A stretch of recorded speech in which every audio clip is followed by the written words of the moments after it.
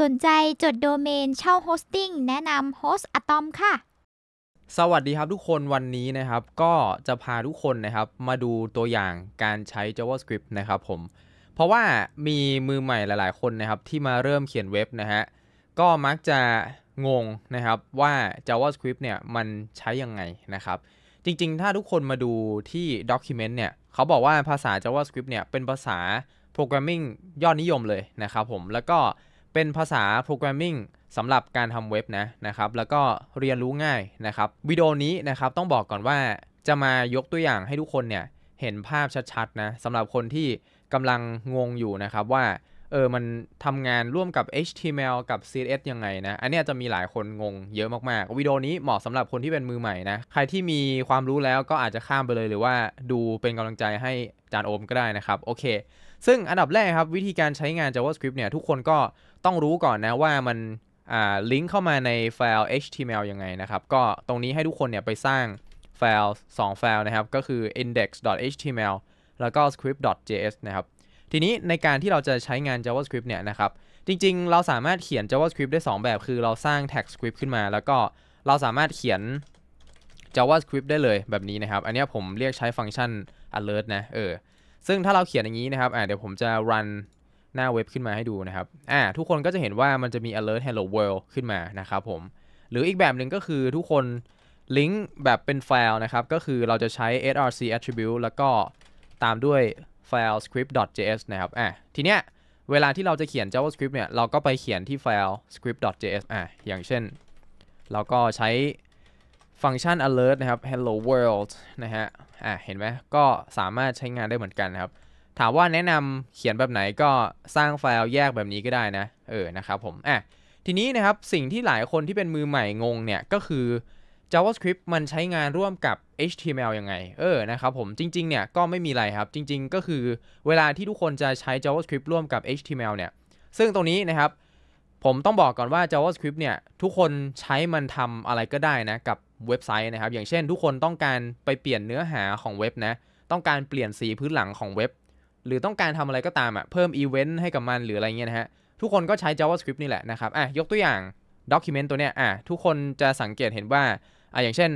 ตรง drop down ตรงเนี้ย อันนี้ก็คือใช้ JavaScript ทำได้นะ เออ นะครับ อ่านี่นะฮะ คือ JavaScript เนี่ยมันเป็นภาษาที่เราสามารถใช้ในการกำหนดพฤติกรรมของเว็บไซต์ของเรานั่นเองนะครับว่าเราต้องการให้มันทำอะไร เออ อย่างเช่น เรามีการคลิกปุ่มให้มันเกิดอะไรขึ้นมาอะไรแบบนี้นะ คลิกปุ่มแล้วมีการเปลี่ยนสีพื้นหลังของเว็บอะไรพวกนี้นะครับ ทีนี้มาดูตัวอย่างง่ายๆนะครับที่จะยกตัวอย่างให้ทุกคนเนี่ยได้เห็นภาพนะ ก็อย่างเช่น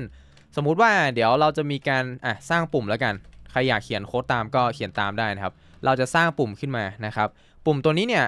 เราจะมีการกำหนด ID อ่าชื่อว่าอ่าเป็น red btn แล้วกันเออนะครับแล้วก็ red btn หรือว่าจริงๆ เขียนว่า red ก็ได้อะนี่นะครับ เดี๋ยวผมจะมีปุ่มสัก 3 ปุ่มนะ อันนี้จะเป็น green btn นะครับ แล้วก็เป็น blue btn นะฮะอันนี้ก็เปลี่ยนเป็น green เปลี่ยนเป็น blue นะครับ แล้วก็ อันนี้จะเป็น default btn นะครับ reset color อะ เขียนตามนี้แล้วกัน ลองกด save นะครับ แล้วมาที่หน้าเว็บทุกคนก็จะเห็นว่าเราจะมีปุ่มใช่ไหมอ่าสี่ปุ่มด้วยกันนะครับ แต่ละปุ่มก็จะมี ID ของมันนะครับ ทีเนี้ยเวลาที่เราจะใช้ JavaScript ร่วมกับ HTML ก็คือ ถ้าเราต้องการเข้าถึงตัวปุ่มตัวเนี้ยหรือว่า element ตัวเนี้ยนะครับ เราจะต้องชี้มาที่ ID ตัวนี้ เออ ซึ่ง element แต่ละตัวเห็นไหมมี ID นะครับ เราจะทำยังไงนะฮะ เราจะใช้ JavaScript ในการเข้าถึงตัว element พวกนี้ยังไง เราก็มาสร้างตัวแปรนะครับอะซึ่งการสร้างตัวแปรเนี่ยทุกคนก็สร้างนะครับ โดยการใช้ keyword const นะครับ แล้วก็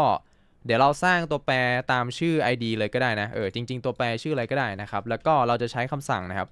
document get element by id ซึ่งคำสั่งเนี่ยมันก็ตรงตัวเห็นไหมนะครับ document เนี่ยมันก็คือหน้าเว็บของเรานะ เออ อันนี้ผมอธิบายก่อน เดี๋ยวหลายคนจะงง document มันก็คือหน้าเว็บทั้งหน้าเลยนะครับ มันเป็น object นะ document เออ ซึ่งถ้าเกิดว่า อะ เดี๋ยวผม console log ให้ดูนะครับ ถ้าทุกคนล็อกตัว document ออกมานะครับ แล้วทุกคนเซฟนะ แล้วคลิกขวาตรวจสอบนะครับ หรือว่า inspect นะฮะ แล้วไปที่ console ทุกคนจะเห็นว่ามันจะมี document ออกมาที่ console แล้วเวลาทุกคนเอาเมาส์มาชี้เนี่ยเห็นไหมว่ามันจะมีการไฮไลท์สีฟ้าที่หน้าเว็บ มันก็หมายถึงหน้าเว็บนั่นเองนะตัว document นะครับเนี่ยเห็นปะ พอเรา expand ออกมามันก็จะมีพวก element อะไรพวกนี้นะครับจำไว้เลยนะว่าเกือบทุกอย่างใน JavaScript เนี่ยมันก็คือ object นะนะครับดังนั้นเราจะมีการใช้ document แล้วก็เรียกใช้ฟังก์ชันหรือว่า method get element by id ซึ่ง method get element by id นะครับเราจะมีการไป get id พวกนี้ก็คือปุ่ม red btn อะทีนี้เดี๋ยวผมก๊อปมาอีก 3 ปุ่มนะครับ แล้วก็เปลี่ยนชื่อตามเลยนะครับผมอ่าเปลี่ยนชื่อตามไปนะฮะ โอเค ทีเนี้ยหลังจากทุกคน get element ได้แล้วนะครับ ลองหลอกดูอะ เราลองหลอกตัว red btn ก็ได้ แล้วมาดูที่คอนโซล ทุกคนจะเห็นว่ามันจะมีปุ่ม เห็นไหมฮะ เป็น element button id red btn ก็คือพูดง่ายๆว่ามัน get ตัว element ตัวเนี้ยมาได้แล้ว แล้วก็เก็บไว้ในตัวแปร red btn นะฮะ ทีนี้นะครับ สิ่งที่ผมต้องการคือ ถ้าเกิดว่าเรามีการคลิกที่ปุ่ม red เออ แล้วผมเนี่ยต้องการให้ พื้นหลังเออหรือจริงๆเนี่ยเราอาจจะสร้างตัวนี้ก็ได้นะครับ ก็คือเดี๋ยวให้ทุกคนสร้าง dev ขึ้นมานะฮะ dev ตัวนี้เนี่ยผมจะตั้งชื่อคลาสว่าเป็น uh, box แล้วกันนะเออนะครับแล้วเดี๋ยวมาที่ css นะ เดี๋ยวผมเขียน css ในนี้เลยแล้วกัน เข้าถึง class box นะครับ แล้วก็กำหนด width อ่า เป็นสัก 300 พิกเซลนะ height 300 พิกเซลนะครับ แล้วก็ background color ค่าเริ่มต้นเนี่ย ผมจะเอาให้มันเป็นสี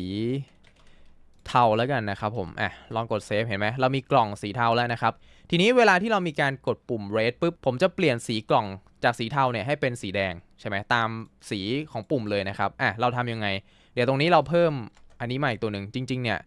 ผมอาจจะต้องกำหนด ID ให้กล่องด้วยนะเออนะครับ ก็เป็น my box แล้วกันอะแล้วก็เปลี่ยนชื่อนะครับ get id มา ทีนี้นะครับ เราจะดึงตัวแปร red btn มาก็คือปุ่มสีแดงใช่ไหม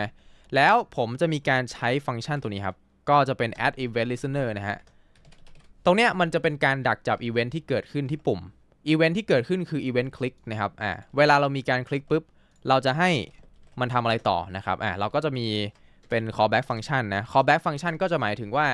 อ่า หลังจากคลิกปุ๊บเนี่ย เราจะให้โค้ดข้างใน callback function เนี่ย มันทำอะไรต่อนะครับ ในที่นี้ก็คือผมจะให้สีพื้นหลังของกล่องนะฮะ มันเปลี่ยนสีใช่ไหมนะครับ ก็ เราก็แค่ดึงตัว my box มานะ แล้ววิธีการที่เราจะเข้าไปเปลี่ยนสีของกล่องโดยการใช้ JavaScript เนี่ยนะครับ ก็คือเราต้องมีการใช้เป็นแบบนี้นะฮะ ก็คืออะเราจะเข้าถึงตัว property style เพราะว่า element เนี่ย มันก็สามารถที่จะใช้ JavaScript ในการเข้าไปแก้ไข CSS อะไรได้ใช่ไหมเออ เราก็จะเข้าถึง style นะครับ แล้วก็ตามด้วยชื่อของ property ของ CSS นะฮะ ในที่นี้ก็คือจะเป็น background color นะฮะ มันก็จะเขียนต่างจาก CSS นิดหนึ่งนะครับ ถ้าใน CSS เนี่ย ถ้าทุกคนมาดูนะ อ่า เดี๋ยวผมจะเปิดตัว style นะครับ เห็นไหมใน CSS มันก็จะมีแบบ dash แบบนี้ใช่ไหม แต่ว่าใน JavaScript เนี่ย คือเราจะต้องเขียนแบบนี้นะ เออ มันก็จะรูปแบบไม่เหมือนกันนะครับ อ่า ทีนี้นะครับ ผมก็จะเปลี่ยนสีให้เป็นสีอะไร เป็นสีแดงนะฮะ อ่า ทีนี้ลองกดเซฟนะ แล้วมาดูที่หน้าเว็บนะฮะ ลองกดดูปุ๊บ อ่า ทุกคนก็จะเห็นนะว่าตอนนี้สีกล่องเนี่ย เป็นสีแดงแล้วนะครับผมโอเค ทีนี้เรามาทำกับอีก 3 ปุ่มนะ ก็คือ เดี๋ยวเราก๊อปตัวนี้มานะครับอ่าตัวนี้จะเป็นปุ่มสีเขียวนะ ก็เปลี่ยนเป็นสีเขียวนะครับ ต่อไปสีน้ำเงินนะฮะอ่าเปลี่ยนเป็นสีน้ำเงิน แล้วก็ default นะครับ อันนี้ก็จะเปลี่ยนกลับเป็นสีเทาสีเกรย์เหมือนเดิมนะฮะอะลองกดเซฟดูนะครับ ลองมากดดู red green blue reset color เห็นไหมอ่านะครับผมเนี่ยก็คืออันนี้เป็นตัวอย่างง่ายๆนะที่อยากจะทำให้ทุกคนเห็นนะฮะว่า เราใช้ JavaScript นะครับเข้าไปแก้ไขปรับเปลี่ยน ไม่ว่าจะเป็น HTML นะครับหรือว่า CSS ยังไงนะครับก็คือนี่แหละตามนี้เลยนะครับ จริงๆเนี่ยเราสามารถทำได้แทบทุกอย่างนะครับเออโดยการใช้ JavaScript นะนะครับซึ่งตรงเนี้ยก็เป็นตัวอย่างที่อยากจะมายกตัวอย่างนะครับให้กับมือใหม่ ทุกคนที่กำลัง สงสัยแล้วก็งงอยู่นะว่ามันคือยังไงเออเราจะใช้ JavaScript ร่วมกับ HTML ในการเข้าไปเปลี่ยนเนื้อหา เปลี่ยนคอนเทนต์เปลี่ยน CSS อะไรพวกนี้ยังไงนะครับทุกคนก็สามารถเขียน JavaScript เข้าไปจัดการแก้ไขในส่วนของ HTML หรือว่า CSS ในหน้าเว็บได้หมดเลยนะครับผมเออเนี่ยก็ตามที่ยกตัวอย่างให้ดูนะครับผมซึ่งตรงนี้ทุกคนก็แค่ต้องฝึกเยอะๆนะครับ ถามว่าฝึกยังไงก็ทุกคนมาที่เว็บไซต์นี้ก็ได้ w3schools.com นะฮะแล้วมาที่ how to นะครับ เออมาที่เมนู how to ทุกคนจะพบกับว่ามันจะมีพวกมินิโปรเจกต์ที่เขาเนี่ยจะพาเรานะครับฝึกเขียน HTML เขียน CSS แล้วก็จะมีในส่วนของ JavaScript ด้วยนะครับผมเนี่ยเราก็สามารถมาฝึกได้นะเห็นไหมนะครับผมซึ่งตรงเนี้ยเป็นสิ่งที่ดีมากที่อยากจะแนะนำให้ทุกคนนะครับได้ลองมาฝึกกันดูนะซึ่งวิดีโอนี้นะครับก็เป็นตัวอย่างง่ายๆนะครับที่อยากจะพาทุกคนมาดูนะครับอย่างที่บอกไปว่าวิดีโอเนี้ยเหมาะสำหรับมือใหม่มากๆนะที่ยังไม่เข้าใจนะครับ ก็หวังว่าวิดีโอเนี่ยจะทำให้ทุกคนนะครับเข้าใจเพิ่มมากยิ่งขึ้นนั่นเองนะครับผมโอเคครับหากชอบวิดีโอนี้นะครับก็อย่าลืมกดไลค์กด subscribe นะฮะแล้วรอติดตามชมวิดีโอตอนต่อไปนะครับแล้วเจอกันวิดีโอหน้าครับผมสำหรับวันนี้ขอตัวลาไปก่อน สวัสดีครับ สำหรับท่านใดนะครับที่ต้องการสนับสนุนช่องปฏิพานเพลงเผานะครับ ทุกคนสามารถสนับสนุนผมได้นะครับ เพียงเดือนละ 35 บาทเท่านั้นนะครับ ก็จะเป็นส่วนช่วยเหลือเป็นกำลังใจให้ผมนะครับ ได้ผลิตคอนเทนต์ดีๆ เนื้อหาดีๆ แบบนี้ต่อไปนะครับ ก็ขอบคุณทุกคนนะครับที่เข้ามารับชมนะครับ ขอให้ทุกคนมีความสุขกับการเรียนรู้ครับผม แล้วเจอกันครับ